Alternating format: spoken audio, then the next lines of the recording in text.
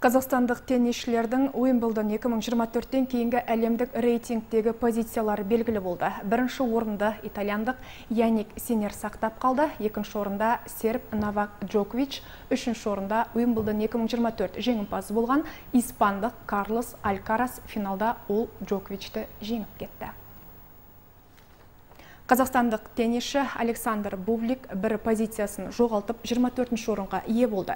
Михаил Кукушкин екі белгіге түсті 135-ші. Денис Евсеев 160-шы орынға ие болып, 4-ші қатарға шықты. 36 позицияға көтеріліп, 186-шы орынға ие болған Дмитрий Папко серпіліс жасады. Жұптық рейтингте бірінші орында испандық Марсель Граналерс пен аргентиналық Арасио Себалос бөлісті. Үшіншісі австриялық теннисші Метью Эбден, Қазақстан өкілі Александр Недовесов 49-шы болды. Бублик 131-ші қатарда қалды.